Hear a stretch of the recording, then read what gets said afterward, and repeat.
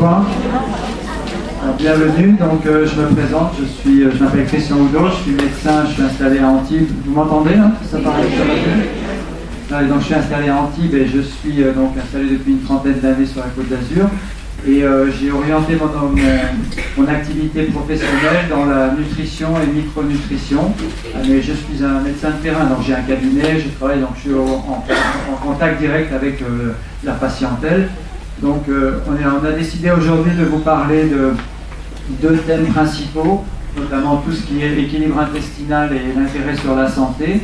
Et deuxièmement, du renouvellement cellulaire, ça ne vous parle pas, mais on va voir un petit peu quelles sont les conséquences sur le, sur le vieillissement, sur la prévention de certaines pathologies assez lourdes, et qu'est-ce qu'on peut faire en termes de nutrition, micronutrition, pour améliorer, optimiser la santé en général, notamment de l'intestin et des cellules.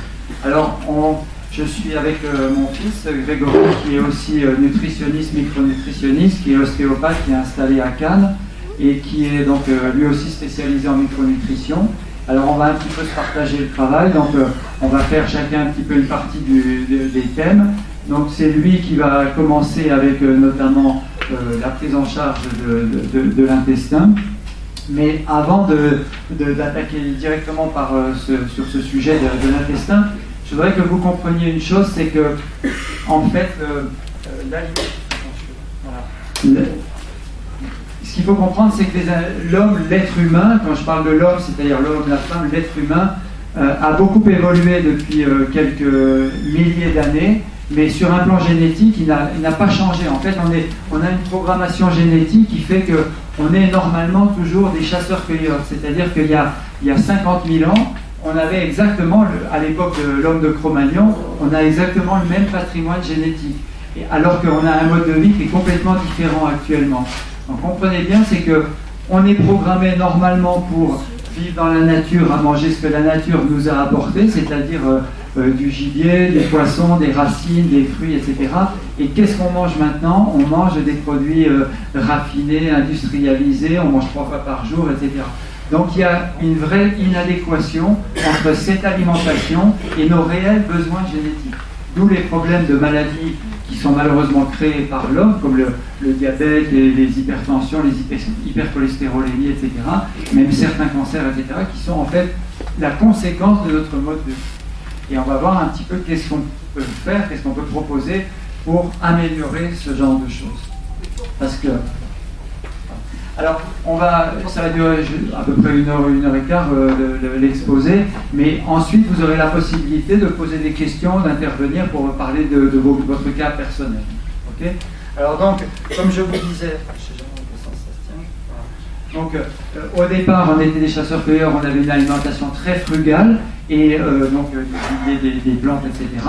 Or, euh, après, l'homme s'est sédentarisé, donc il y a eu les cultures, il y a eu l'élevage. Donc les, êtres humains ont commencé à manger ce qu'ils avaient produit eux-mêmes, c'est-à-dire euh, des produits laitiers, du blé, etc. Mais ils avaient une activité intense parce qu'il fallait cultiver, etc. Donc là, il y avait toujours une, certaine adéquation entre cette alimentation et la santé en général. Et, euh, ensuite, il y a eu l'industrie agroalimentaire avec un développement, enfin une, une production industrielle, etc et de plus en plus de, euh, si vous voulez, euh, de, produits prêts à l'emploi, qu'on on cuisine de moins en moins. maintenant, il y a à peu près 75% de la nourriture sont des aliments qui sont industrialisés. Donc, on mange pratiquement plus de produits vraiment bruts, comme, euh, je sais pas, une carotte ou un navet, etc. Donc, c'est souvent des produits tout préparés. Et ça, ça crée un vrai problème. On le voit tous les jours, nous, en clientèle les gens ont un problème parce que justement leur alimentation s'éloigne trop de nos réels besoins. Ça, il faut vraiment prendre conscience de ça parce que c'est très très très important. Donc, en fait, l'idée, c'est de se dire qu'il y a une certaine évolution de la race humaine. On voit bien qu'à l'époque de Cro-Magnon, il y a une évolution, mais depuis quelques milliers d'années, pendant quelques milliers d'années, il y a eu une évolution, mais là, notamment depuis quelques on va dire, une centaine d'années, mais surtout depuis les 20-30 dernières années ou 50 dernières années, l'alimentation, ça va plus du tout. Le fait de manger un midi et soir des glucides, des, des, glucides raffinés, des produits tout préparés, c'est un problème. Et on le voit de plus en plus. Donc, euh, on va parler notamment de l'intérêt, de, de, ce que cette alimentation va provoquer au niveau du tube digestif. Donc euh, je vais passer la parole à Greg qui va vous parler justement maintenant de l'intestin et de son intérêt pour la santé. Alors bonjour. Donc euh, Grégory, le fils de, Christian, ostéopathe et, micronutritionniste, donc euh, en, rapport avec l'ostéopathie, c'est très important de, travailler sur la nutrition. Et euh, là, donc sur l'intestin, ce qu'il faut comprendre d'abord, c'est la surface d'échange que l'intestin va avoir avec les micronutriments, avec les éléments qui vont rentrer par la bouche. Et cette surface, elle est très grande, c'est 300 mètres carrés. Comment on peut avoir une si grande surface dans un petit euh, espace comme l'abdomen? Eh bien, c'est que euh, les cellules de l'intestin sont vallonnées, l'intestin est plié sur lui-même, il va avoir des villosités, si bien que quand on va le déplier, cet intestin, il peut remplir à peu près cette salle et les murs. Donc on peut recouvrir avec l'intestin d'une personne, on peut recouvrir un terrain de tennis, de handball, donc c'est cette salle plus les murs autour à peu près. Donc imaginez cette surface d'échange qu'il y a avec les éléments extérieurs qu'on apporte. Et cette surface, elle se situe sur une seule couche de cellules. Donc pour avoir de la surface, il faut vallonner tout ça et on va voir ensuite. Euh, il y a aussi dans euh, cet intestin, eh bien, il y a aussi des neurones qui sont en connexion avec le cerveau et qui fabriquent des neuromédiateurs, ces messagers chimiques qui circulent entre les neurones. Il y a aussi des cellules immunitaires qui sont dans l'intestin et c'est les trois quarts de notre immunité. Donc les défenses immunitaires de notre corps se situent dans l'intestin pour les trois quarts. C'est très important. Donc euh, l'intestin, c'est un élément à ne pas négliger. On voit donc ces vallons, hein, ces, petites, euh, ces petites montagnes qui augmentent la surface de contact avec les nutriments. Et ici, la zone eh bien, un peu la douane, donc les cellules immunitaires qui contrôlent un peu ce que l'on va apporter hein, dans notre alimentation. En dessous, le système vasculaire qui va absorber et amener ça dans la circulation. Hein. Grossi au microscope, on voit les cellules, pardon, grossi au microscope, on voit les cellules de l'intestin et les villosités, donc ces petits ballons qu'on vient, vient d'évoquer. Ces, ces, cellules sont attachées les unes aux autres par des jonctions très serrées.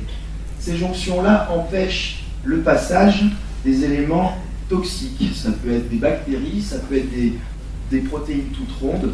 Et l'intestin a besoin de sectionner ces protéines, ces produits, avant de les absorber. S'il y a une altération de ces jonctions, eh bien, il va y avoir des éléments qui vont passer dans le sang alors qu'ils ne devraient pas y être et déclencher des réactions immunitaires. On va voir ça après. Donc, on voit un intestin malade, les vallons érodés comme des montagnes hein, avec le temps, euh, qui sont un peu écrasés, qui sont un peu abîmés, et aussi les jonctions cassées.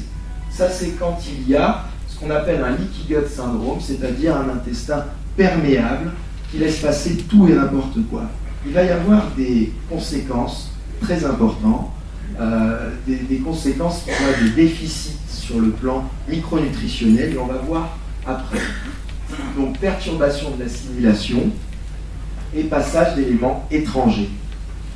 Donc on voit bien schématiquement des cellules normales et les jonctions, et des cellules malades avec des cassures et le passage tout rond hein, des molécules.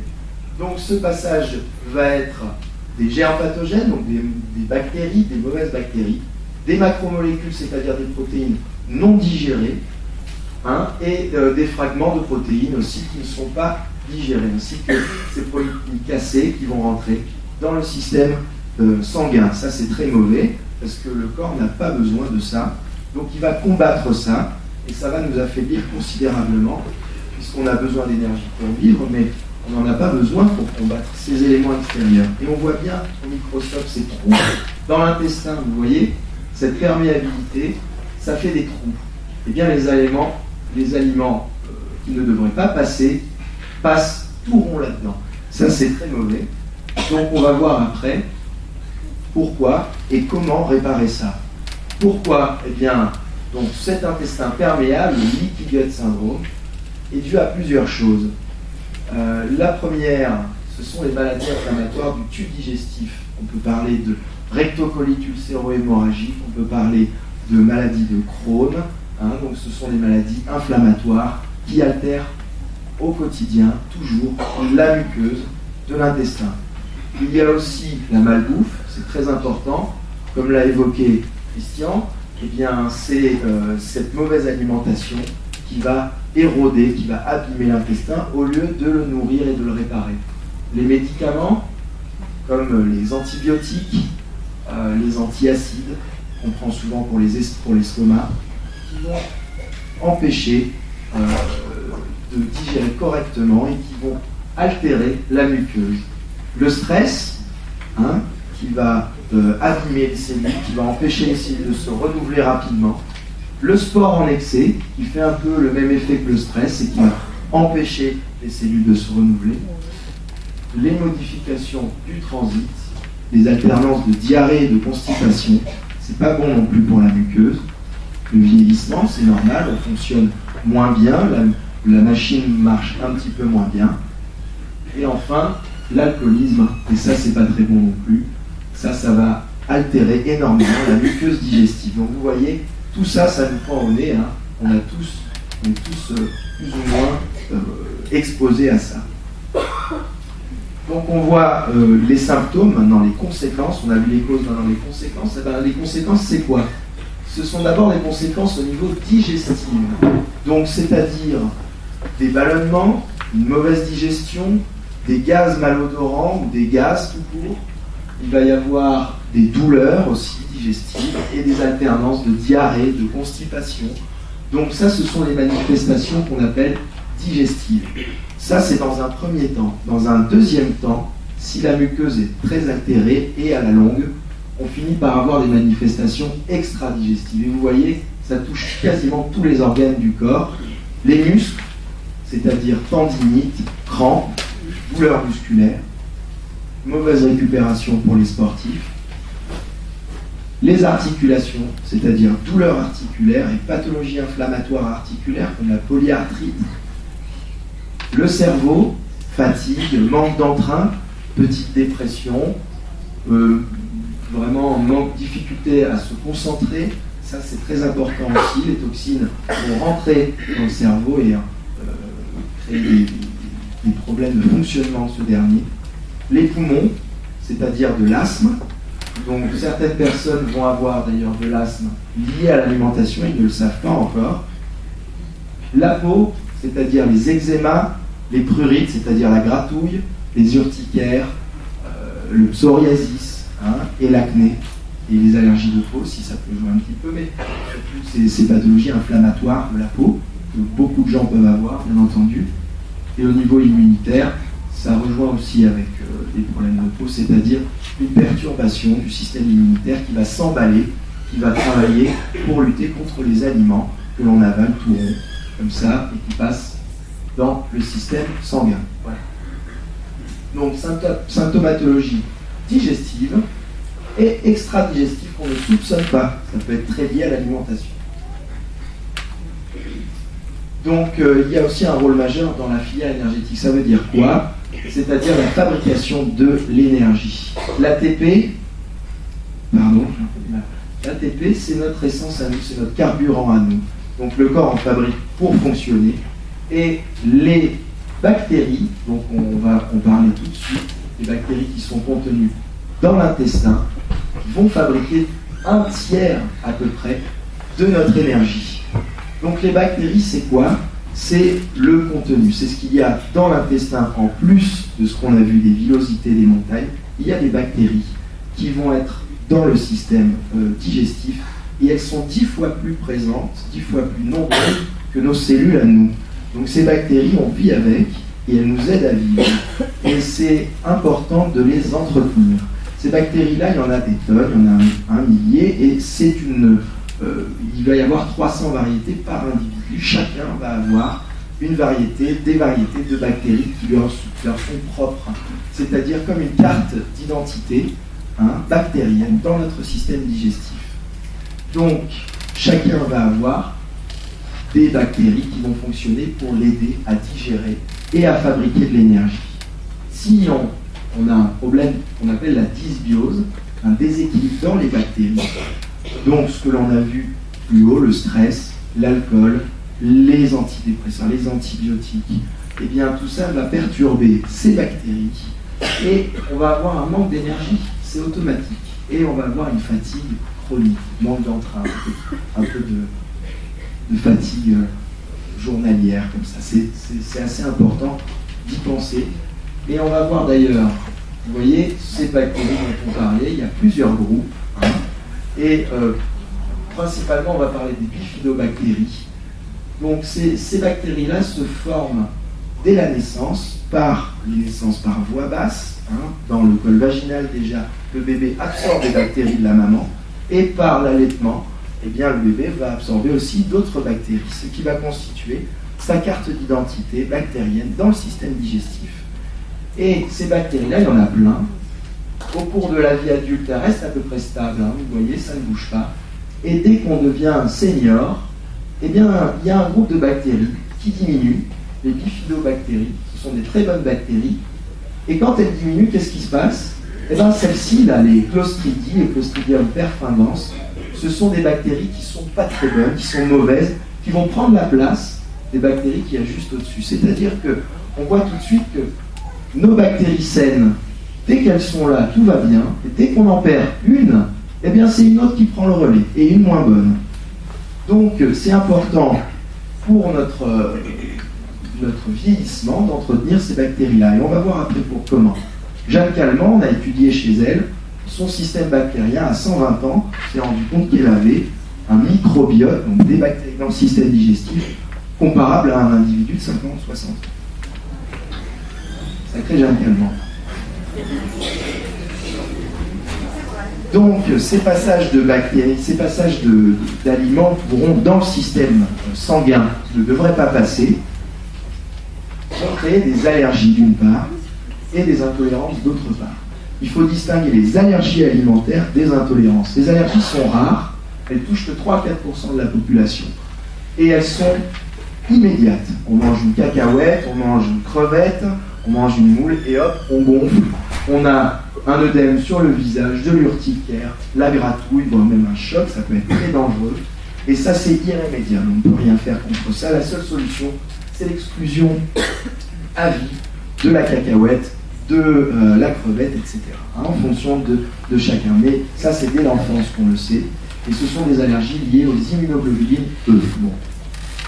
Maintenant, on parle des intolérances alimentaires. Alors, les intolérances, ça touche beaucoup plus de gens. Ça peut toucher, disons, plus de la moitié des gens qui y a dans cette salle. Et ces intolérances, elles sont plus fréquentes que les allergies. Et c'est ça qui nous intéresse, nous. Ce sont les intolérances liées à des, des réactions immunitaires, tout comme l'allergie, mais c'est retardé de 24 heures à plusieurs jours. Donc qu'est-ce qui se passe? On va manger un aliment, et puis un jour, deux jours après, on a des migraines, on a des maux de ventre, on a des ballonnements, on va avoir des gaz, etc. Ça peut être le cas du lait, ça peut être le cas du blé, ça peut être le cas d'autres aliments, comme certains aliments exotiques. Donc ces éléments-là vont induire des intolérances, des réactions donc dans les muscles, dans les articulations, au niveau du cerveau, pas que au niveau digestif, on l'a vu précédemment. Hein. Et ça, c'est en lien avec l'hyperperméabilité, le leaky gut syndrome. Hein. Donc ce sont des pathologies que l'on ne va pas forcément imputer à l'alimentation. Certaines personnes vont avoir mal à la tête, vont avoir des ballonnements, vont avoir des douleurs articulaires après avoir mangé certains aliments, et ne savent pas que c'est lié à l'alimentation. Donc, on va voir ensuite comment ça se passe. C'est réversible après une exclusion de l'aliment incriminé. Souvent, ça peut être le blé, ça peut être le lait. Hein. et il faut faire une exclusion de 6 à 12 mois, donc c'est assez long pour en avoir les pleins effets. Et beaucoup de personnes, on voit au cabinet, euh, beaucoup de patients, euh, mon père comme moi, on voit beaucoup de gens, après leur faire arrêter les éléments qui sont intolérés par le corps, on voit une amélioration des douleurs articulaires, même chez des gens assez âgés qui ont de l'arthrose. Hein.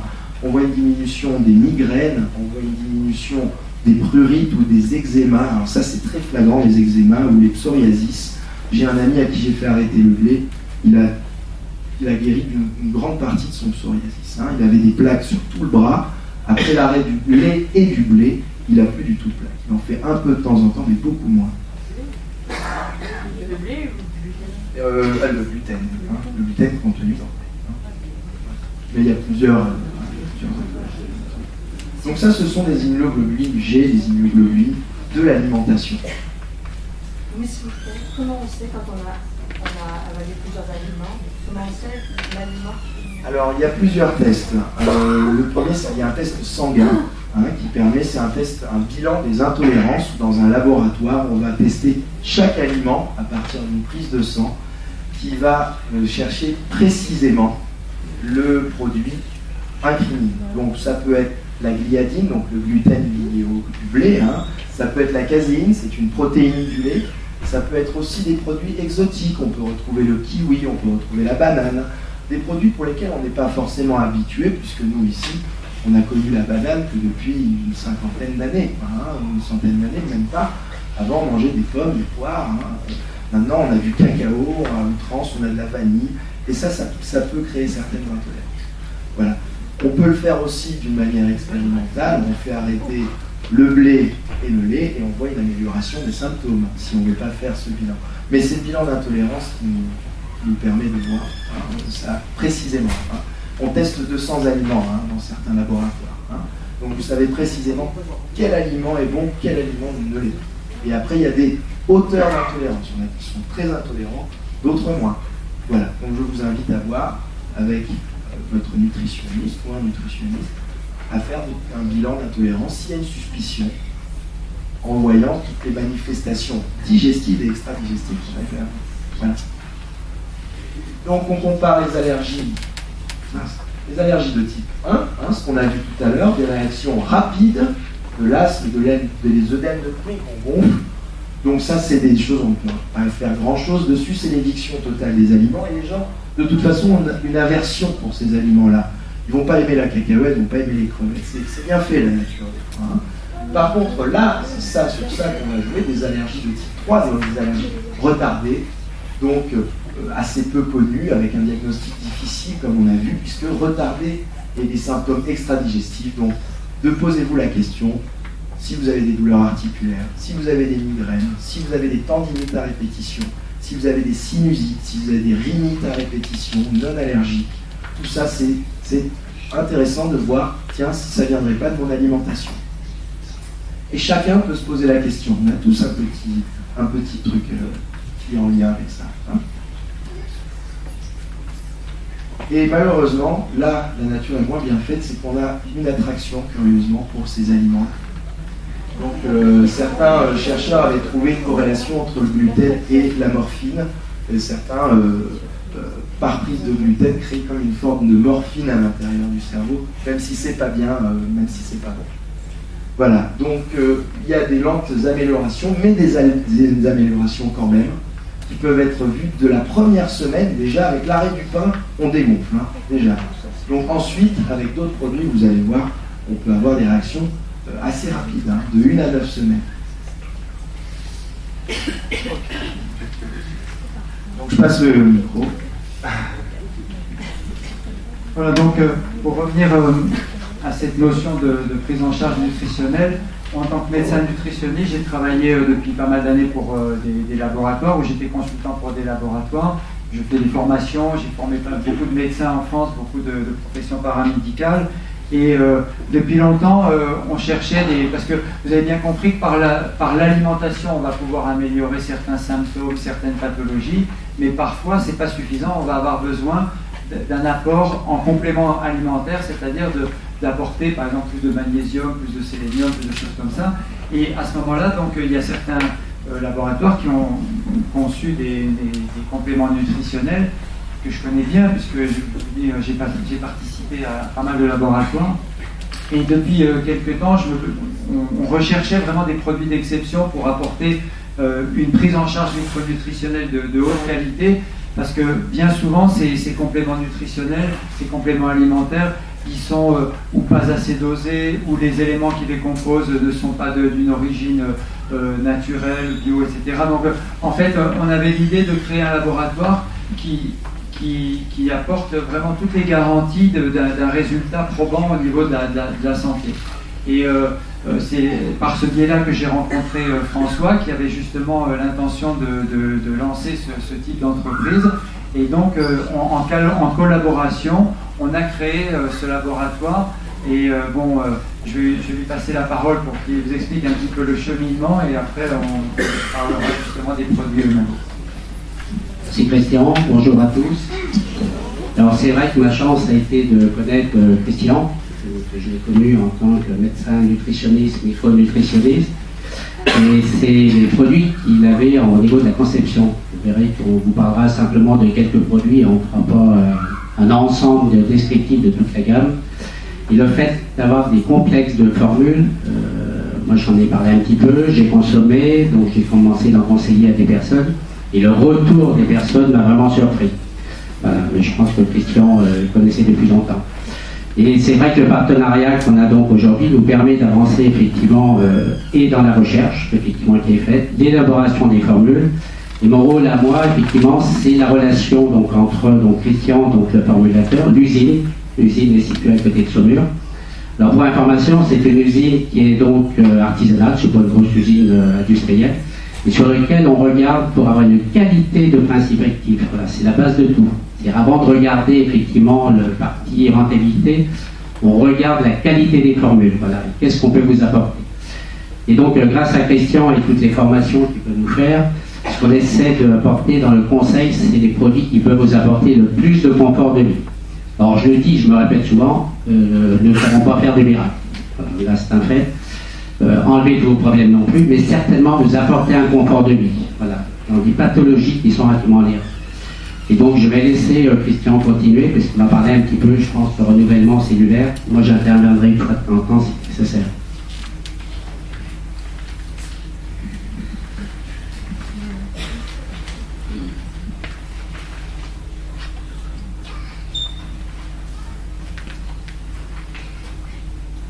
Donc pour enchaîner sur sur l'intestin, donc on a vu l'intérêt majeur de, de, de, la qualité de, l'intestin sur la santé. Juste une petite anecdote euh, par rapport à ces bilans d'intolérance dont a parlé euh, Greg tout à l'heure. Là. Donc euh, je sais qu'en en, clientèle, je reçois beaucoup de personnes qui ont des problèmes de maladies auto-immunes, donc soit polyarthrite rhumatoïde, sclérose en etc. Donc une fois, j'ai une personne qui était venue à mon cabinet pour une sclérodermie, donc une maladie assez rare, auto-immune, et euh, pour qui j'avais parlé de ce problème d'intestin. J'avais dit, ben, on a tout à gagner, même si ça ne réglera pas le problème de l'immunité en général, mais ça, peut apporter une amélioration, parce que je le vois notamment dans les, polyarthrites, euh, c'est vraiment les, gens qui, arrivent à faire une éviction des aliments intolérés avec un traitement, comme on va voir après, prise en charge micronutritionnelle. On a, même si la maladie persiste, on a une nette amélioration de la symptomatologie, notamment de, des amplitudes articulaires, de la souplesse articulaire, etc. Donc cette, patiente était venue me voir pour, sa, pathologie auto-immune, sclérodermie, et je lui dis bon, on va faire un test des intolérances alimentaires. Donc elle fait son test de 150 aliments, elle était intolérante comme souvent gluten, euh, blanc d'œuf, enfin je sais plus quoi, etc. Donc j'ai dit bon ben voilà, vous allez euh, euh, enlever pendant trois mois ces aliments-là et je vais vous donner une prise en charge micronutritionnelle avec le produit dont on va reparler juste après, qui s'appelle Equinabuo. Là je vais le mettre. voilà. Donc prise en charge avec ce, traitement-là. Donc je dis revenez dans deux mois, on verra un petit peu ce que ça donne. Donc deux mois après, elle rentre dans mon cabinet et vraiment, elle, m'a pris dans ses bras comme ça, elle m'a serré tellement fort. J'ai dit, mais qu'est-ce qui se passe et tout. Je pensais que sa maladie, sa maladie euh, avait, vraiment, euh, avait vraiment été beaucoup mieux. Et en fait, ça n'avait pas, du tout été ça. C'est que euh, sa maladie s'avait un petit peu améliorée, mais c'est une femme qui souffrait de migraines chroniques depuis, depuis son adolescence. c'est une femme qui a une cinquantaine d'années. Ça faisait depuis son adolescence qu'elle avait une crise de migraine par semaine. Et en fait, le fait de faire cette prise en charge pour l'intestin, ça lui a réglé complètement son problème de migraine, si vous voulez, alors qu'on euh, ne l'avait même pas traité pour ça au départ. c'est la, preuve qu'on on ne connaît pas encore à l'heure actuelle l'immensité des, conséquences qu'on peut avoir en termes positifs euh, sur la santé de cette prise en charge du, domaine euh, intestinal et de la santé intestinale. Au niveau aussi bien de la muqueuse intestinale que de la flore intestinale, comme a parlé euh, Grégory. Donc là, il va vous présenter un petit peu le produit du laboratoire qui s'appelle Equinal Duo, qui est vraiment un produit majeur.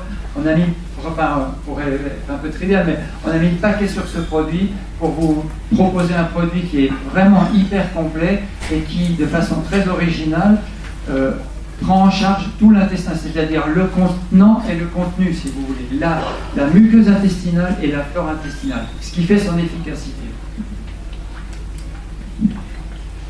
Bien, donc euh, comme euh, l'a évoqué mon, frère, euh, il y a le contenant et le contenu, hein, ce qu'on a, qu'on a, vu tout à l'heure. Le contenant, bah, c'est la muqueuse intestinale, le contenu, c'est les bactéries. Donc on va jouer sur le contenu, donc les bactéries dans un premier temps avec les cellules, les gélules probiotiques. Et vous voyez le, nombre de, bactéries qu'on apporte, c'est 5 milliards fois 3. Hein. donc il y a 15 milliards de bactéries. C'est déjà, très très bien. Et ce sont des bactéries de bonne qualité, de très bonne, de, très bonne qualité. On avait parlé des bifidobactéries qui diminuaient à partir de l'âge senior. Et bien là, on apporte 5 milliards, vous voyez.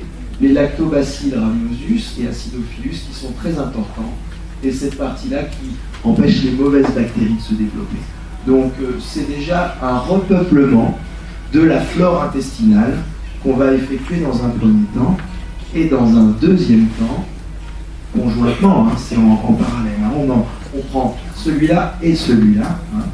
on répare les cellules, on répare les jonctions qu'on avait euh, vues précédemment, ces jonctions entre les cellules, on les répare grâce à tous ces produits-là, qui sont les produits anti-inflammatoires d'une part, d'autre part, ça c'est un ciment, un, constituant de ces jonctions et euh, des produits qui permettent de désintoxiquer les cellules, de nettoyer euh, les cellules et de réparer euh, les jonctions entre ces cellules. Donc c'est un produit très original parce que autrement on est obligé, on prend soit l'un, soit l'autre et, c'est jamais très bien équilibré.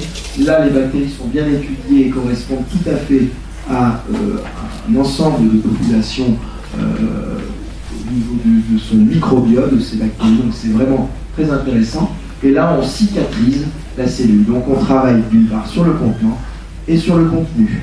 Donc si on retrouve une intolérance alimentaire, si on retrouve un leaky syndrome, c'est le produit tout désigné hein, pour euh, réparer ça.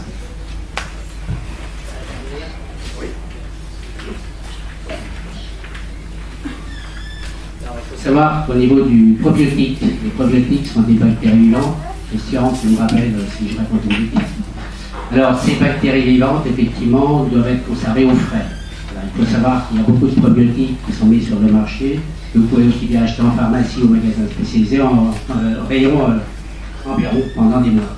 Trois jours à 20 degrés, vous n'avez pratiquement plus de bactéries. C'est-à-dire l'efficacité d'un probiotique, approvisionner au frais, c'est ce qu'on fait nous au niveau du laboratoire, et mis au frigo chez vous, c'est obligatoire.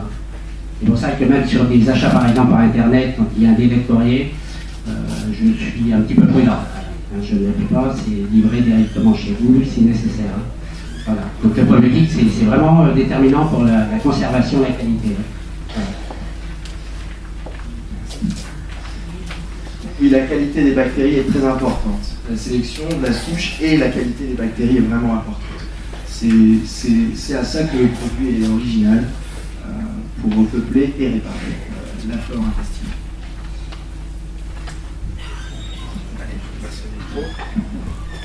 Alors, euh, avant d'aborder le problème du renouvellement cellulaire, je ne vous parle pas beaucoup, mais vous allez voir que c'est quand même quelque chose d'essentiel. Euh, depuis quelques années, moi j'ai été sensibilisé au problème d'équilibre acido-basique de, l'organisme, et j'avais dit à François, j'ai dit il faut qu'on fasse un produit par rapport à ça, parce que je suis convaincu qu'il y a beaucoup de personnes qui souffrent de déséquilibre de, normalement entre l'acide et les, produits alcalinisants dans le corps il y a énormément de, pathologies, en tout cas de symptômes qui peuvent être liés à ces problèmes d'équilibre acido-basique. Et donc, on a, euh, on a pris l'option depuis quelques années d'introduire dans tous nos compléments nutritionnels une prise en charge de cet équilibre acido-basique, ce qui fait que, en fait, c'est un peu le double effet qui se coule, comme on dit, c'est-à-dire quand vous prenez un produit du laboratoire, C'est-à-dire, c'est, ça va soigner, par exemple, je sais pas, si c'est un manque de magnésium ou euh, l'intestin ou euh, les, omégas, etc. On, on, essaye d'apporter toujours une prise en charge de cet équilibre acido-basique. Donc, c'est pas du tout le thème aujourd'hui, on n'en parlera pas. Mais il faut que vous sachiez qu'on a tenu compte, parce qu'on va en parler de plus en plus, vous allez en entendre parler maintenant de cet, cet équilibre acido-basique. Et donc, sachez que dans les produits euh, donc euh, il y a certains composants qui permettent de lutter contre l'hyperacidose que, pratiquement la plupart des, gens euh, souffrent de ce problème d'acidose. Et en deux mots, il faut comprendre une chose, c'est que aliments, dans les aliments, il y a les deux tiers ou les trois quarts des aliments qui se comportent comme des aliments acides, qui apportent de l'acidité dans le corps, et il y a seulement un quart, un tiers ou un quart des aliments qui sont alcalinisants. D'où une, acidité permanente dans le corps qui a tendance à détruire les structures nobles, comme les tendons, les surfaces articulaires, les cellules de l'immunité, les neurones, etc. Voilà, on voit sur un. on, va, faire très très simple, en fait, si vous voulez, c'est que voilà, tous les aliments que vous voyez ici à partir de là, ce sont les aliments qui permettent de lutter contre l'acide, et comme vous pouvez le constater, c'est pratiquement essentiellement des végétaux donc tous les fruits, les légumes, etc. C'est pour ça qu'il faut consommer des fruits et légumes, pas seulement parce que ça apporte des vitamines, mais aussi parce que ça lutte contre l'acidose. Et malheureusement, tous les aliments à partir d'ici, ce sont des aliments qui apportent de l'acide. Les protéines, le fromage, les céréales, les laitages, etc. Alors, imaginez un repas où vous mangez euh, des pâtes avec euh, du jambon et puis un yaourt ou je sais pas quoi, bon, c'est hyper, hyper, hyper acide. Donc ça veut dire que le corps, il va être c'est comme si on trempait le corps dans l'acide. Donc ça, ça, veut dire une usure prématurée des structures neuves de l'organisme. Donc c'est important de, réfléchir à ça. On aura l'occasion d'en reparler peut-être euh, dans une autre conférence. Concernant l'équilibre acido-basique, donc moi j'ai beaucoup été dans la nutrition, mais dans le milieu rural, euh, conseiller donc au niveau des sols. Et quand j'allais voir des exploitants agricoles, euh, je regardais la texture du sol et souvent l'agriculteur me disait je comprends pas, il manque 30 euh, à 40% de rendement. Il faut savoir que quand on parle d'acidité, le pH se mesure entre 0 et 14. Et souvent au niveau des sols, quand on faisait une analyse nutritionnelle, on fait entre 5, 5, 5 ou 6. Ce qui fait qu'effectivement sur un terrain, si la plante n'a pas les moyens de capter, de puiser des éléments qui sont nécessaires effectivement à la pousse, et donc le conseil, qu'on faisait C'est-à-dire deux ans, trois ans, on remettait du calcium pour qu'on améliorait ce niveau-là. Et on retrouvait au bout de deux ans, trois ans, quatre ans un rendement tout à fait correct. Une petite information au niveau des bovins, par exemple. Quand vous avez des bovins qui tombent en acidose, ça peut aller jusqu'au décès du bovin. Et c'est pour ça qu'aujourd'hui, dans la nutrition du monde animal, on est souvent beaucoup plus en avance que pour l'être humain. Très intéressant au niveau de acido-basique. Et la preuve en est, c'est que on, pense que ce problème de déséquilibre acido-basique peut créer pas mal de symptômes, dont il y a une espèce de liste ici. Bien sûr, tous les symptômes que vous voyez ne sont pas dus uniquement à l'hyperacidose, mais cette hyperacidose aggrave euh, toutes ces symptomatologies. Alors, pour ça, encore une fois, donc on, a prévu un, un produit qui s'appelle pH Control, qui est vraiment prévu pour ça pour lutter contre l'hyperacidose, soit parce que euh, les gens font beaucoup de sport, ou parce qu'ils ont une alimentation qui apporte pas assez de végétaux, parce qu'ils ont les symptômes qu'on a vus précédemment. Là, on a un produit spécifique pour ça, donc on va, on va pas détailler du tout la composition, mais euh, sachez que ça existe. Alors maintenant, je voudrais qu'on parle un petit peu. Maintenant, je voudrais qu'on parle un petit peu de cette notion de renouvellement cellulaire, parce que c'est quelque chose qui est essentiel. En fait, si vous voulez, il faut que vous compreniez, c'est que l'organisme, l'être humain, c'est un énorme magma de, cellules. On a des, millions de milliards de cellules qui composent notre corps. Il y a des cellules pour la peau, des cellules pour les os, des cellules pour les muscles, des, cellules, des neurones, des cellules pour les globules, etc. Bon, toutes ces cellules, on les a pas toutes à la naissance. En fait, elles ont une durée de vie limitée. Elles meurent au bout d'un moment et on les renouvelle en permanence. Le corps, c'est c'est en permanence un renouvellement. Par exemple, il y a des cellules qui se renouvellent très très vite, comme les cellules du sang. Vous savez, les globules rouges, la, durée de vie, c'est 4 mois, par exemple. Donc, tous les 4 mois, on a renouvelé tous nos globules rouges. On n'a plus un ancien globule rouge, c'est tous des nouveaux globules rouges. Et il y en a d'autres qui se renouvellent beaucoup plus doucement, comme les cellules, je ne sais pas, de, de l'os ou des cellules de. Voilà. Et, mais euh, la peau, il y a des cellules qui se renouvellent assez rapidement. Donc, euh, en permanence, on détruit pour reconstruire. Parce que sinon, on vieillirait à une vitesse folle, on, aurait une espérance de vie de 2-3 ans maximum. Donc, en fait, il faut comprendre, c'est que on refabrique des nouvelles cellules tous les jours, tous les jours, tous les jours. En fait, que j'ai dit tous les jours, c'est plutôt toutes les nuits. C'est pendant la nuit qu'on refabrique, qu'on restaure notre capital cellulaire. Imaginez qu'on fabrique 150 milliards de cellules tous les jours, donc des milliards de cellules. Et pour ça, il faut des ingrédients pour fabriquer ces petites cellules qui vont composer notre organisme. Parce que ces cellules, elles sont essentielles pour notre santé. Ce sont nos fibres musculaires, ce sont nos neurones, ce sont euh, nos cellules immunitaires, etc. Donc, plus vous aurez une alimentation saine et équilibrée, plus vous aurez les ingrédients qui vont permettre de renouveler ses propres cellules et d'avoir un capital cellulaire de qualité. Et on est convaincu maintenant, d'ailleurs on a des preuves à apporter, mais on est convaincu que la qualité de l'alimentation et de certains compléments nutritionnels va permettre d'avoir un renouvellement cellulaire de qualité et va vous permettre de, non seulement d'être en meilleure santé, avec plus d'énergie, plus de, de, réflexion, des meilleurs globules, etc., mais en plus va permettre de lutter contre le vieillissement et surtout, on va voir tout à l'heure, la prévention de certaines maladies extrêmement graves, comme notamment le cancer. Donc, vraiment, il faut prendre conscience que c'est un petit peu la façon qu'on a de s'alimenter et d'apporter les micronutriments dans le corps qui vont permettre notre santé future. Et ça peut être décalé sur des mois, des années, puisqu'il faut euh, un certain nombre d'années pour renouveler toutes les cellules de, l'organisme. Ok? Alors, ce que je veux vous faire comprendre, c'est que l'organisme a un mal fou à assimiler tout ce dont il a vraiment besoin.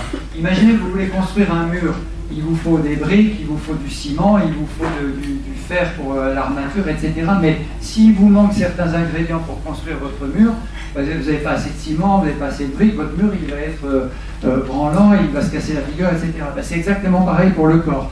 On a des millions, des milliers de micronutriments qu'il faut avoir tous les jours dans son alimentation, des vitamines, des acides aminés, des acides gras, des, minéraux. Et si on ne les trouve pas dans l'alimentation, eh ben, forcément, ben, vous allez construire votre mur, c'est-à-dire vos cellules, mais elles vont être moins performantes. Et donc, vous allez être fragilisé.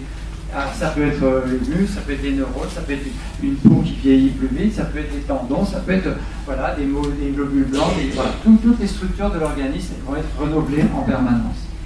Or, on s'est rendu compte que malheureusement, quand on fait une, par exemple un bilan, on fait une prise de sang à des, milliers de, personnes, on se rend compte que la quasi-totalité de la, population française est en déficit micronutritionnel. Qu'est-ce que ça veut dire? Ça veut dire que si je fais une prise de sang, par exemple, à toutes les personnes qui sont dans cette salle, eh ben, il n'y a, pratiquement aucune chance de trouver quelqu'un qui soit vraiment équilibré dans tous les domaines. Il y a, de fortes chances qu'il y en ait, mettons 70% qui manquent de magnésium, 90% de, de, fer, etc., 35% de... Vous voyez, on a tous des petits déficits comme ça.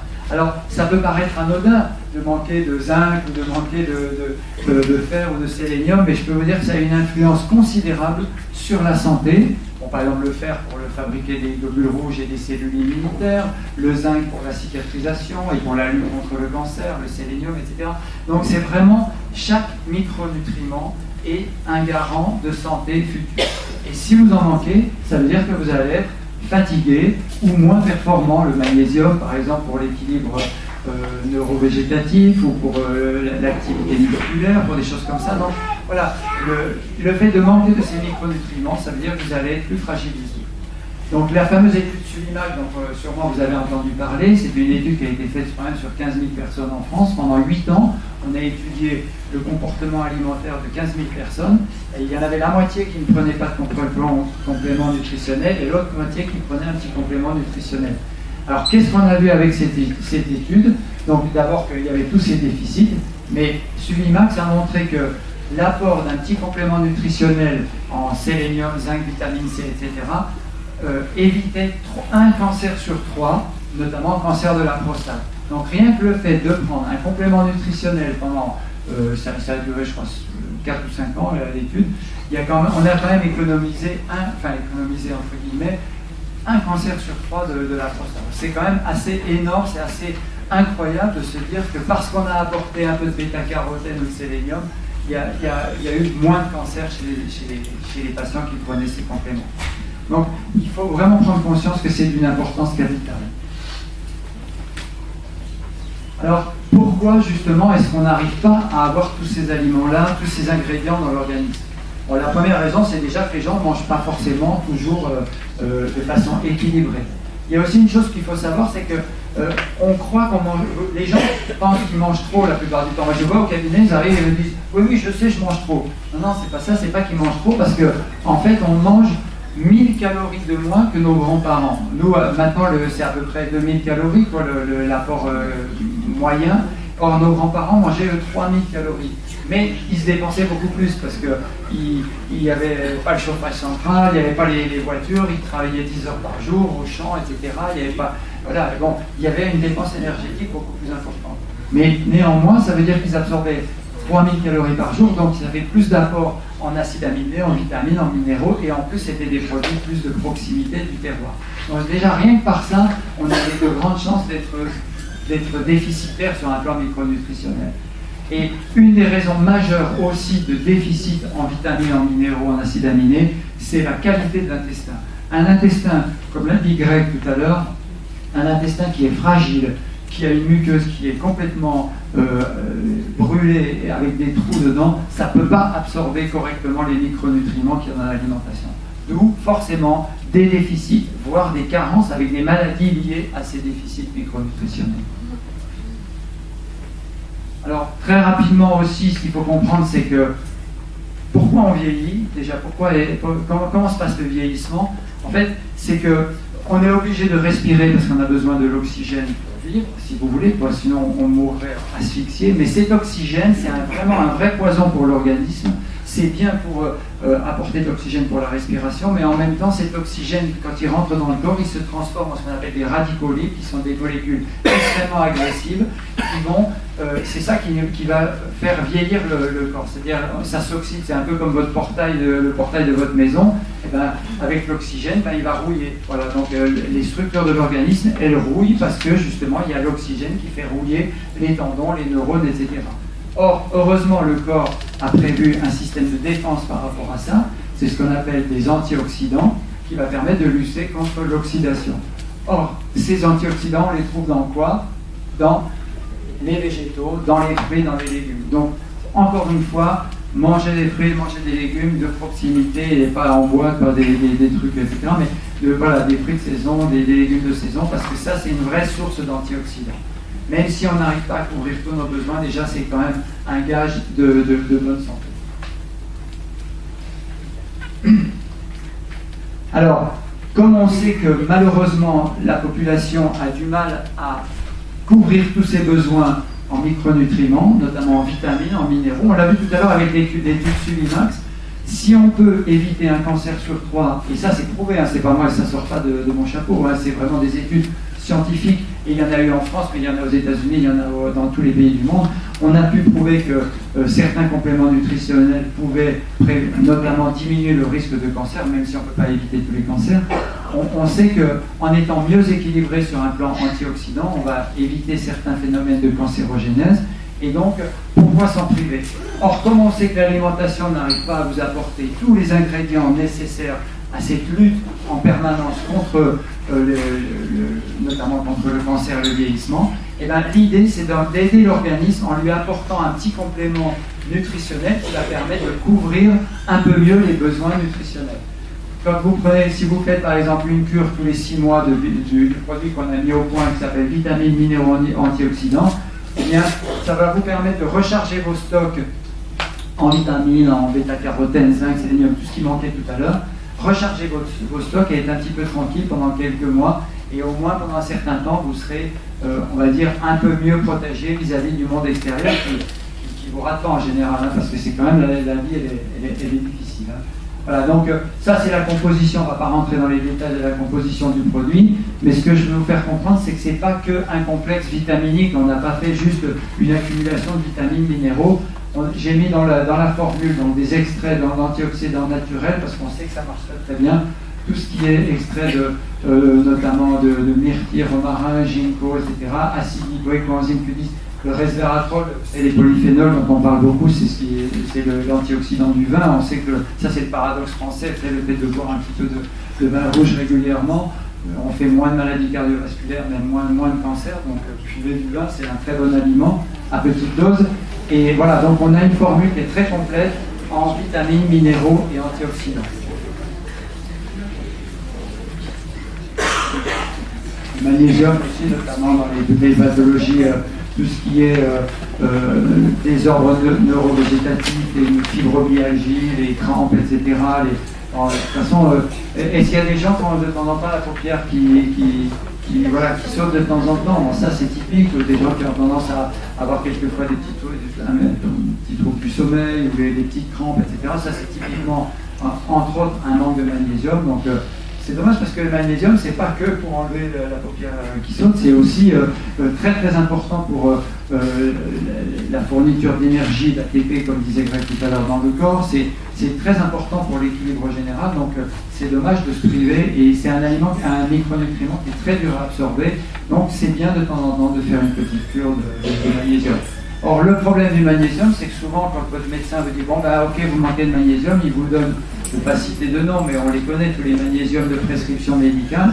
Ce sont des magnésiums qui sont extrêmement mal absorbés, voire pas absorbés du tout, voire même agressifs pour le tube digestif. Le nombre de personnes que j'ai vues en clientèle qui me disaient Ah ne me donnez pas de magnésium parce que ça va aggraver mon, ma etc., parce que ça fait mal au ventre. C'est normal d'ailleurs, hein. on sait que c'est un micronutriment qui est assez agressif. D'où l'idée de prendre un magnésium. Voilà, nous, on a, choisi un magnésium marin qui est de bonne qualité, qui n'agresse pas la muqueuse. Et surtout, c'est pas que de prendre que du magnésium, il faut du magnésium plus des cofacteurs qui vont faciliter le travail de ce magnésium. Voilà, donc on a une formule très complète et très, très intéressante, qui s'appelle Zenema. Alors, pour finir, par rapport à ce renouvellement cutané, euh, euh, cellulaire, en fait, euh, je, vais, je vais repasser la parole à Greg pour qu'il vous explique un petit peu justement comment on fabrique ces petites cellules. Ça va être assez, assez rapide et après vous pourrez poser des petites questions par rapport à vos problèmes euh, personnels.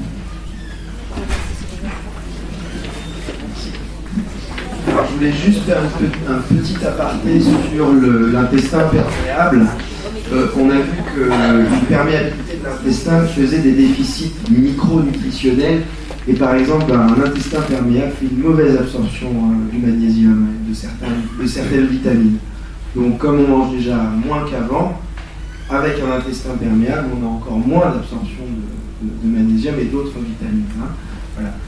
Et euh, maintenant, on va parler de l'équilibre entre les acides gras, hein, ces graisses que l'on va manger, et notamment des oméga 6 et des oméga 3 et du lien avec le vieillissement cellulaire digestif et euh, de l'ensemble du corps.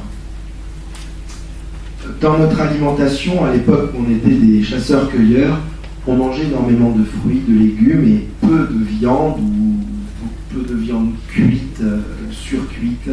On mangeait aussi pas mal de poissons et on avait un équilibre entre les oméga 6 et les oméga 3 qui étaient quasiment de 1 pour 1. C'est-à-dire on mangeait presque autant d'oméga 3 que d'oméga 6. Maintenant, on arrive à 30 à 50 oméga 6 pour un malheureux oméga 3. Comment ça se fait? Eh bien, nourriture industrielle, excès d'acides gras saturés, excès de mauvaises graisses, par exemple les huiles de palme, regardez dans les, emballages de vos, des aliments l'on peut acheter, l'huile de palme hein, extrêmement présente, et là c'est euh, oméga 6 mais surtout acides gras saturés, c'est très mauvais. Toutes ces choses apportées par l'industrialisation alimentaire déséquilibrent considérablement notre rapport oméga 6, donc mauvais acides gras en quelque sorte, et oméga 3, les bons acides gras. On va voir, on va détailler tout ça. Les oméga 3, c'est quoi? Ce sont les poissons gras, sardines, euh, flétans, maquereaux, saumon, euh, certaines variétés de thon, le thon germont par exemple, l'huile de colza, l'huile de noix et aussi l'huile de lin. On n'en consomme pas tant que ça. Hein. Euh, je ne sais pas qui dans la salle consomme régulièrement un de ces quatre euh, acides gras, soit végétal ou animal, oui, tous les jours. Très bien, bravo. Alors par contre, ici, on voit que, on va voir après, hein, mais euh, les oméga 6, on en consomme même beaucoup plus, malheureusement. Donc même si on mange du poisson, du colza, des noix, il se peut que dans notre alimentation qu'on consomme plus d'oméga 6, et qui va encore déséquilibrer le rapport. Et euh, dans les. Alors j'entends le saumon, il n'y a, rien de plus mauvais. Alors pareil, le saumon, il faut voir quel type de saumon on, mange. Hein. Si c'est les saumons d'élevage, qu'est-ce qu'on lui donne à manger. Hein. Euh, donc ça c'est important de voir aussi.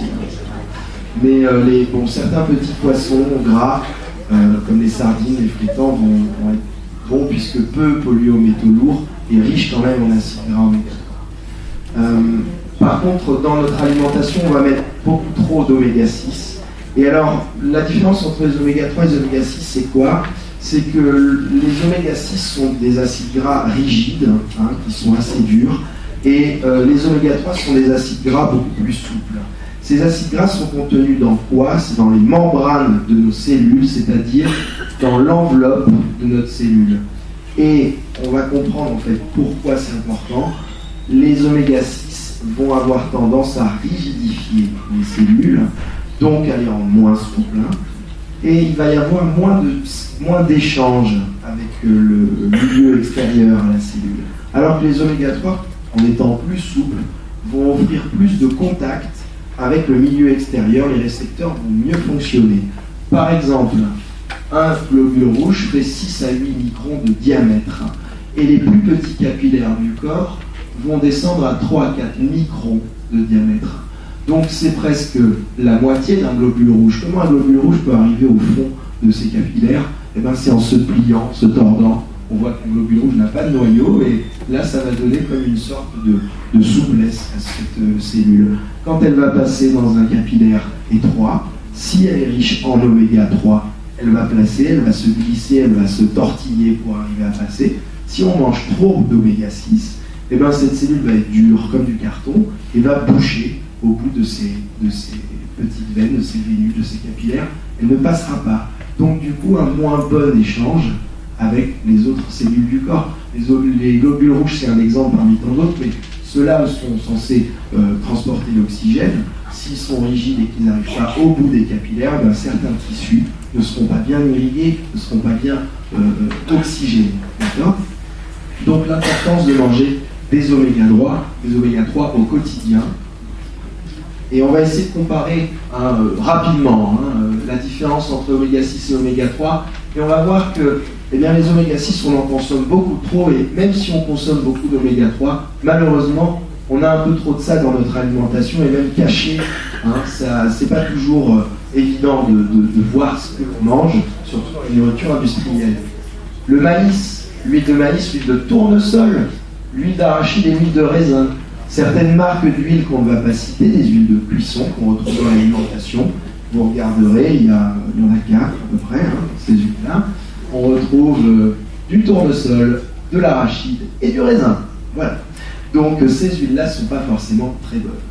On peut utiliser d'autres huiles, l'huile de colza qui peut être cuite, l'huile de noix qu'on peut utiliser dans les euh, vinaigrettes, l'huile de cameline aussi que l'on peut cuire, l'huile de cassis et qu'on peut vraiment, et aussi l'huile de lin. L'huile de lin, c'est une huile très très très intéressante.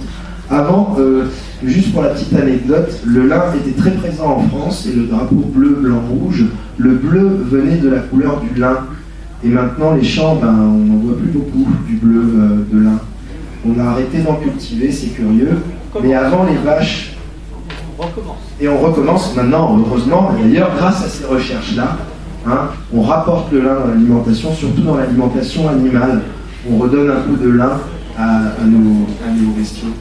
Et l'olive Alors l'huile d'olive, elle, d'olive, elle se situe ni dans l'un ni dans l'autre parce qu'il y a des oméga 9. Mais c'est une huile, voilà, mais c'est une huile très intéressante quand même. On va voir après justement. Hein. Mais euh, c'est une huile très intéressante quand même, c'est la base de l'alimentation euh, méditerranéenne. Et c'est quand même une huile qui est euh, protectrice. Hein, voilà. Mais c'est quand même important, en, en plus de l'huile d'olive, d'apporter ces huiles-là qui sont même mieux pour la cuisson. Hein. Je vous conseille de cuire à l'huile de colza, à l'huile de cameline, plutôt qu'à l'huile de, tournesol, bien sûr, et à l'huile de hein. On va voir après. Donc, pourquoi les oméga 6 sont mauvaises? Sont mauvais parce que ils vont apporter euh, au corps, ils vont faire fabriquer des prostaglandines, des thromboxanes, des leucotriènes, ce sont des molécules qui sont pro-inflammatoires, qui vont favoriser l'inflammation. Alors que les huiles oméga 3, que l'on retrouve dans les poissons et dans les huiles végétales, eux vont fabriquer des prostaglandines, thromboxanes et leucotriènes, des séries 3, qui sont anti-inflammatoires. D'accord? Donc euh, il faut équilibrer, c'est pour ça qu'on parle de rapport oméga 6 sur oméga 3, parce que il faut arriver, parce qu'il y a une partie des oméga 6 qui sont pas mauvais. Hein, c'est cela. C'est dans l'huile d'onagre, de bourrache et cassis. Je ne sais pas qui en consomme beaucoup. Ça les Moi, je ne consomme pas trop ça. Mais euh, par contre, de ça, je, je consomme beaucoup plus. Donc, euh, on voit dans, notre alimentation déséquilibrée, bah, la viande, les produits laitiers, hein, notamment, cet acide arachidonique, eh ben, on, nous, force à nous inflammer. Hein. Donc, euh, c'est important de le savoir et de combler ce déséquilibre avec ce que l'on voit de l'autre partie de la colonne, ça, hein, de l'huile de colza, de lin, de cassis, euh, ou de l'huile de cameline, plus rarement, mais euh, déjà dans le colza, la noix et le lin, on a des très bonnes huiles, et dans les poissons gras. Hein. Donc on, peut déjà arriver à, combattre ça. Les oméga 3 ne sont pas sensibles à la chaleur Si, ils sont sensibles à la chaleur, mais l'huile de colza est protégée. Hein. et euh, on fait aussi l'addition de vitamine E qui protège aussi ces, ces huiles-là. Et euh, donc maintenant, l'huile de colza, on peut la chauffer. Par contre, un truc sur les huiles, quelque chose d'important, si vous mettez de l'huile dans votre poêle et que ça fume, vous pouvez la jeter l'huile, hein, c'est plus bon. Donc 180 degrés, c'est trop gros, c'est trop fort pour, euh, pour, une huile. Hein. C'est à partir de là qu'elle fume. Hein. Donc euh, cuisez à feu doux, ou du moins pas, pas frit. dès que l'huile fume, c'est déjà foutu. Donc il faut éviter. Il y a certaines huiles, malheureusement, les oméga 3, comme elles sont plus sensibles à la chaleur et à l'oxydation que les autres huiles, il faut des huiles de bonne qualité, d'une part, et d'autre part, euh, il, faut les, il faut les faire cuire donc à, feu. Hein. Euh, simplement, dans les produits laitiers, on dit faire la différence entre les produits laitiers d'origine vache et chèvre, que la, la vache est la, la chèvre bovine, c'est Alors, dans le cas des oméga 6, oméga 3, il n'y a pas de différence. Oui, malheureusement. Et même dans le cas des intolérances, euh, on ne voit pas trop de différence. Au niveau de la digestibilité, on n'est pas tellement au niveau de, des conséquences sur le... Même la caséine euh, qu'il y a dedans, il y en a autant dans les vaches pour vie. Euh. En fait, il n'y a pas une grosse différence. C'est plus digeste, mais ça se comporte de la même façon dans le corps humain, au niveau des oméga 6 et au niveau des intolérances alimentaires. Hélas. On croit bien faire, mais c'est pas, pas tellement, c'est pas tellement un avantage. Alors encore une fois, c'est pas interdit d'en consommer, hein. on peut quand même en consommer, mais il faut toujours, comme l'acide et le basique qu'on a vu précédemment, il faut toujours équilibrer l'un avec l'autre. D'accord?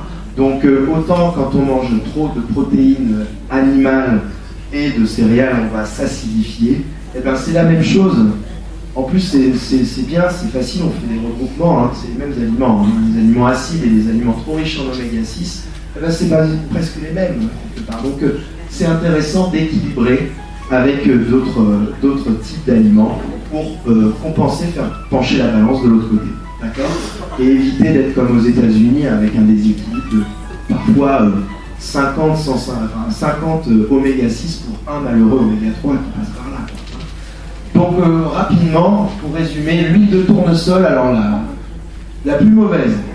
Donc on va s'intéresser au rapport, je ne sais pas si vous voyez bien, oméga 6 sur oméga 3. Alors c'est la deuxième en partant du bas, c'est celle-là. Ça c'est important, c'est le rapport qu'il y a, donc ce rapport dont on parlait tout à l'heure. Hein. Euh, on va voir un rapport de 124 pour l'huile de tournesol, que beaucoup de gens utilisent pour la cuisson. Donc j'espère qu'à partir d'aujourd'hui, vous allez peut-être changer un peu de cuisson. Et vous allez voir la différence sur le goût est, pas, énorme. Hein. L'huile de colza, ça change pas le goût des aliments. Hein. Donc 124 euh, oméga 6 pour un, pour un oméga 3. Hein. Ça fait beaucoup. L'huile de maïs qu'on n'utilise pas trop dans nos pays, mais euh, dans les pays euh, sud-africains, sud-américains par exemple, on utilise beaucoup ces, huiles-là. C'est très mauvais l'huile de pépin de raisin qu'on retrouve dans ces huiles toutes faites, là, industrielles, c'est pas bon non plus. L'huile d'arachide non plus. Donc là, ben voilà, hein, l'huile isocade, c'est un mélange de tournesol, de pépins de raisin. Euh, ils mettent une autre huile. Bon, allez, on rééquilibre à 39, mais ça reste monstrueux, hein, c'est beaucoup trop. Là, on va attaquer l'huile d'olive, et l'huile d'olive est intéressante. Euh, pourquoi? Parce que ça contient des monoinsaturés. C'est ce qu'on parlait tout à l'heure des oméga 9. Hein, c'est un bon protecteur aussi. Donc l'intérêt de l'huile d'olive, c'est les acides gras monoinsaturés. Donc euh, ça, c'est important. Mais après, bon, euh, il y a d'autres huiles intéressantes. Ben, on va parler d'huile de noix. Regardez le rapport, il est à 5. C'est déjà plus sympa. L'huile de pomme vert, bon, on utilise moins, mais regardez, l'huile de colza, 2,4. L'huile de colza, on en trouve de plus en plus. Et elle est cuite, elle est, euh, on peut la cuire. Elle est chauffable. Toujours pareil, pas plus 180 degrés. On la fait pas fumée. Et l'huile de soja. Alors l'huile de soja, il y a des controverses sur le soja, surtout pour les femmes, avec les rapports avec euh, euh, les hormones féminines. Mais bon, allez, si on voulait en retenir qu'une seule, on va retenir le colza. Hein. Et après, l'huile de lin. Alors, l'huile de lin a un fort goût, hein, faire, et on ne peut pas la chauffer. Mais c'est une très très très bonne huile, hein. c'est l'une des meilleures. L'huile de lin. De lin, Des graines de lin aussi, c'est. Alors pour les graines de lin, c'est compliqué, il faut les moudre et chauffer à 50 degrés pour extraire le... Voilà, ça devient un peu plus compliqué. Mais si vous avez un moulin à café et que vous touillez vite, euh, on arrive à faire quelque chose de bien. voilà. Mais euh, bon, pour les, graines de lin, c'est très intéressant aussi pour le transit. Pour les gens qui ont des hémorroïdes aussi, je conseille euh, donc l'huile de noix, hein, pareil, c'est... Euh, Non, la noisette, c'est c'est pas mal. C'est pas mal, mais euh, c'est pas forcément bon. C'est ce qu'on a dans le Nutella. C'est dur à conserver. C'est pas évident à conserver. L'huile d'amande, c'est pas mal aussi. Alors, mais euh, bon, à, à manger, c'est très riche. On l'utilise pour les massages plutôt. Mais à manger. Euh, L'huile de sésame. L'huile de sésame, pas super. L'huile de pépin de Alors là, on va. Euh, pépin de courge, je, pense qu'elle est, elle est, pas mauvaise, mais pas autant que l'huile de colza et de lin. Mais les pépins de courge sont intéressants pour euh, la prévention des cancers de la prostate. Donc il n'y a, a, pas que l'huile, hein. il y a aussi ce qu'il y a en plus. Hein. Voilà. La camine est bonne. Alors on l'a pas ici, mais elle est très bonne. Ah ben c'est une fleur. Oui, c'est une fleur jaune. C'est pas une mauvaise huile, on peut la chauffer. Voilà, c'est comme l'huile de colza. Mais c'est pour ça que, disons, si on veut simplifier la chose, on peut retenir le colza. Hein. on peut retenir la noix pour faire des, vinaigrettes. Et une bonne vinaigrette, par exemple, c'est un tiers d'huile de lin, un tiers d'huile de noix, un tiers d'huile d'olive, par exemple. Vous pouvez remplacer l'huile de noix qui est forte par de l'huile de colza. Là, vous avez une très bonne vinaigrette, une cuillère à soupe de chaque. C'est super. Hein Là, vous avez déjà des, produits qui rééquilibrent euh, l'huile de, l'oméga 6 et l'oméga 3. Hein. C'est des petits gestes au quotidien, mais qui sont très intéressants.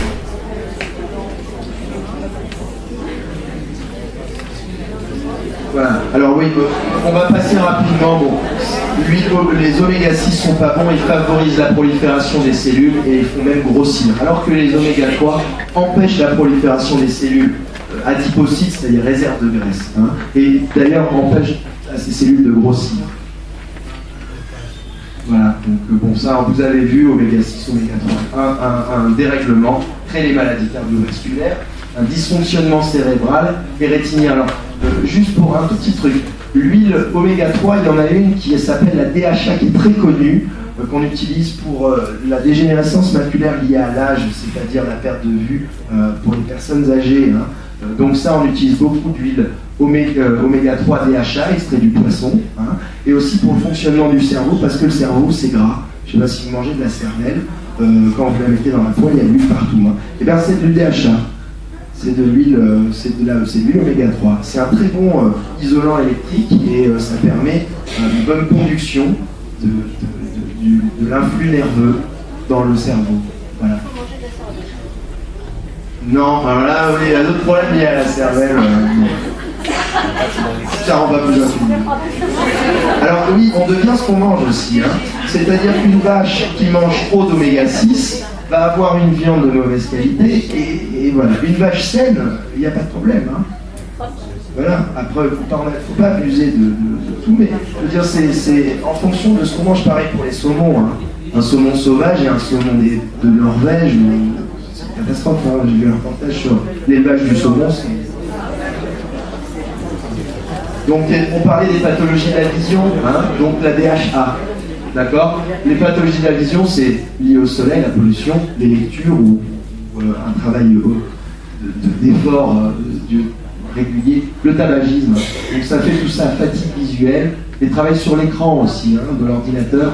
Donc ça fait une diminution de la vision de nuit et un vieillissement donc, qui conduit à la cataracte et à la dégénérescence maculaire liée Donc prenez les oméga 3 riche en DHA, prenez de la vitamine A, et vous voyez déjà même en conduisant en voiture la nuit, vous voyez mieux.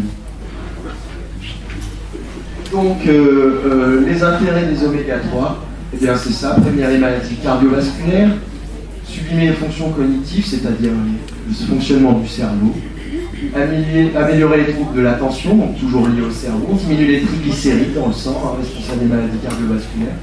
On améliore les diabètes de type 2, le diabète actif et on prévient l'hypertension, on prévient aussi les douleurs articulaires, parce que les oméga 3 sont anti-inflammatoires, comme je le rappelle. Pression, toujours liée avec le, cerveau. On stimule le système immunitaire dans le bon sens. On améliore l'humeur et la lutte contre le stress, toujours pareil, cerveau. Perte du poids, on en a parlé rapidement. On, empêche les cellules de se développer et de grossir, les cellules adipeuses, les cellules euh, du gras. Hein et le syndrome des yeux secs, et certains cancers aussi, hein, bien entendu, et la dégénérescence maculaire liée à l'âge. Alors là, c'est une, bonne question. C'est une, très bonne question. Hein. Euh, il y a certaines margarines végétales qui sont hydrogénées, mais euh, avec un agent chimique. Là, ça fait des graisses trans, c'est très mauvais. Certaines margarines végétales sont à base d'huile de colza et sont euh, battues mécaniquement et c'est déjà meilleur en protection cardiovasculaire. Donc il faut prendre des, bonnes marques, des margarines euh, végétales, oméga 3, il faut prendre des marques qui coûtent déjà plus cher. Il hein. ne faut pas prendre des marques au rabais. Mais bon, franchement, prenez de l'huile de colza. Hein. Ça vous évitera de la battre, ça vous évitera de fabriquer des margarines. Non, les margarines, c'est un argument euh, commercial. Commercial surtout. Non, c'est meilleur que le beurre. Mais après, après moi, j'adore le beurre, il y a des bons beurres, c'est du beurre fermier, voilà, il y a des beurres qui sont faits en Allemagne avec des vaches, des vaches jersiaises qui font, euh, voilà, il ne faut pas le faire cuire, des beurres qui sont faits avec des vaches allemandes, des vaches jersiaises qui font un beurre euh, nourri à la graine de lin, c'est déjà un meilleur beurre qu'il faut pas. Toujours pareil, c'est pas interdit, hein. il faut équilibrer, oméga 3, voilà, toujours faire l'un et l'autre, pas que l'un. Donc eh ben, il y a un produit tout désigné pour ça, hein, un produit euh, riche en oméga 3. Et celui-là en plus est, très intéressant parce que c'est de l'huile de krill. Vous savez ce que c'est le krill? Ce sont des toutes petites crevettes que les, baleines mangent. Et euh, cette huile est vraiment intéressante parce que d'une part, elles contiennent euh, peu de métaux lourds que l'on peut retrouver chez les saumons, les thons, etc et elles contiennent aussi un autre euh, un antioxydant qui est très intéressant, c'est l'astaxanthine. Euh, l'astaxanthine, c'est un antioxydant qui empêche le vieillissement hein, et que l'on utilise énormément dans la protection cardiovasculaire, dans euh, la protection des yeux hein, aussi, dans l'inflammation. Hein. Donc l'huile de krill a un pouvoir encore plus intéressant que certaines huiles, même des huiles végétales. Donc l'intérêt d'un complément alimentaire, même si on consomme assez bien, euh, euh, si, on, a un très bon rapport oméga 6, oméga 3, c'est quand même intéressant de faire des cures à l'huile de cri ou de prévenir. Grâce à ça, hein, ça ne fera pas de mal du tout et c'est très très bon puisque on lutte contre les états dépressifs, on prévient les maladies cardiovasculaires, toujours pareil, on stimule la mémoire, la concentration, on utilise le, développement du cerveau, du psychomoteur, et surtout c'est intéressant dans la grossesse et l'allaitement pour les femmes enceintes. Bonsoir.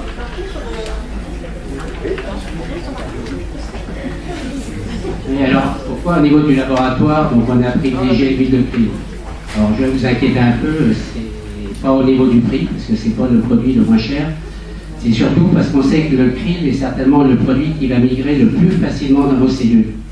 Et les études récentes qui ont été faites aujourd'hui prouvent qu'un oméga 3 issu d'huile de krill est 40% plus efficace qu'un oméga 3 issu de poisson. Donc aujourd'hui, le krill est aujourd'hui au niveau du laboratoire certainement le produit qu'on vend le plus, qui complète effectivement dans son renouvellement cellulaire. Bon, à titre personnel, euh, moi je suis un consommateur depuis 5 ans. Pour information, c'est le seul produit. vous avez une alimentation déstructurée en oméga 3 que vous pouvez prendre en permanence. Euh, moi, ça fait 5 ans que j'en prends. Je double ou je triple la dose aujourd'hui. 69 euh, ans, je dois faire 14, 15 000 km par mois. Moi, je trouve que ça pas mal. La vieillesse que en voiture. Non, pas courant en voiture. D'ailleurs, ma maîtresse, c'est ma voiture. je suis toujours dedans presque. Mais je trouve qu'au niveau de l'énergie, au niveau de la mémoire, au niveau du cognitif, c'est un produit, plus vous le prenez dans le temps, c'est vrai que c'est un coût, c'est un fait, mais le prendrez, plus vous verrez les effets se cumuler que ce soit sur l'énergie, sur la vision, sur la capacité cognitive, il y a vraiment une réaction.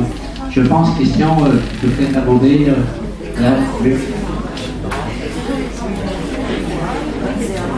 Oui, parce que après la question qu'on peut se poser avec ces compléments alimentaires, on se dit, bon, on pourrait prendre euh, quelque chose pour la peau, pour la prostate, pour le cerveau, tout ça. Après, on aurait tendance à, faire comme les Américains, tout mélanger. Il faut quand même rester modéré aussi dans cet esprit-là le complément alimentaire, c'est pour apporter ce que l'alimentation ne, peut pas nous fournir. Donc c'est un complément alimentaire. ça ne va pas remplacer l'alimentation. Alors, on dit qu'il ne faut jamais prendre de complément alimentaire euh, en continu tout le temps, parce qu'au contraire, il faut justement euh, laisser l'alimentation vous apporter euh, ce, ce, dont vous avez besoin. Je dirais que c'est valable pour tous les compléments alimentaires, sauf effectivement pour l'huile de krill, qui est peut-être le seul complément alimentaire qu'on peut prendre en permanence, pour la raison très simple, c'est que justement, il va participer au renouvellement de ces fameuses cellules, donc à des cellules de qualité, et on va dire qu'il faut des années pour renouveler toutes les cellules du corps. Donc, si vous faites par exemple un mois, deux mois, ben, c'est très bien, vous allez renouveler vos globules rouges, tout ça, mais il y a des milliards et des milliards de cellules qui n'auront pas eu le temps d'être renouvelées. Donc, franchement, c'est d'ailleurs la preuve, hein, c'est que, toi, tu en prends depuis euh, trois ans en continu, cinq ans en continu, et ça se passe bien. Au contraire, plus en prends, tu as l'impression d'avoir de l'énergie, d'être bien, etc. Et je pense que c'est ça l'idée, c'est de d'aider notre corps à se renouveler avec des, avec des ingrédients de bonne qualité. Combien par alors normalement, on dit deux par jour, mais je suis convaincu qu'on est un petit peu en dessous de la vérité. Après, si le budget le permet, c'est mieux d'en prendre quatre. Mais disons que si on arrive à en prendre déjà deux par jour, c'est vraiment bien en continu. Franchement, c'est... Enfin, vous savez d'où ça vient cette histoire des oméga 3 euh, Comment on a découvert l'intérêt des oméga 3 Juste une petite anecdote et on termine là-dessus, c'est que euh, à l'époque, on s'était intéressé aux Inuits, vous savez, les, Esquimaux. On s'est dit, bon, c'est bizarre parce que ces personnes qui vivent dans les mers du Nord ne font jamais de maladie cardiovasculaire. Ils n'avaient l'infarctus du myocarde, ça, ça n'existe pas dans ces pays-là. Alors, on, a essayé de comprendre pourquoi. Et on a compris tout simplement que c'est parce que euh, les gens qui vivent dans les pays nordiques mangent énormément de poissons gras, donc des oméga 3. Et ce poisson gras, c'est incroyable dans la prévention cardiovasculaire. Le traitement vraiment de la prévention de la mort subite, des fibrillations ventriculaires, des infarctus du myocarde les, les etc. Donc c'est vraiment très très très important pour la prévention cardiovasculaire. Donc on s'est rendu compte que ces Inuits ne faisaient pas de maladie cardiovasculaire, ils faisaient moins de cancer, etc. Donc on a recherché pourquoi, on a compris que ça venait de ces oméga 3 qui mangeaient les oméga 3 de poisson. Après le problème c'est qu'ils ont d'autres problèmes qui viennent se surajouter parce que comme ils vivent dans les pays nordiques, ils ont moins de légumes, moins de fruits, etc. Donc vous avez un autre, une autre forme de vieillissement. Donc l'idée, moi, je pense que l'idée de la micronutrition moderne, c'est d'essayer de prendre ce qu'il y a de mieux dans chaque type d'alimentation. Par exemple, les oméga 3 dans l'alimentation des Inuits, euh, l'alimentation crétoise avec euh, l'huile d'olive, avec les antioxydants, le pourpier, vous savez, la, mâche, tout ça, tous ces aliments qui sont euh, naturels, qui vous apportent des ingrédients indispensables à la lutte contre les pathologies graves et le vieillissement. Voilà, on, essaie de trouver un petit peu dans chaque modèle alimentaire qu'est-ce qui peut apporter un petit plus à l'alimentation et à la lutte contre le vieillissement et notamment les spectres qui nous guettent dans la deuxième et troisième partie de la vie, c'est-à-dire maladie si on arrivait à enlever déjà maladie cardiovasculaire, maladie neurovégétative et cancer, il reste plus grand chose. Hein. Ça veut dire qu'on va vivre comme jeune calmement. Hein. voilà, donc je pense qu'on va peut-être s'arrêter là, c'est pas mal, on a bien, on a bien bossé. Si vous avez des, questions, peut-être euh, on, peut, on peut répondre à Greg et moi et François à ces questions. N'hésitez pas, on est à votre service pour, euh, pour la suite.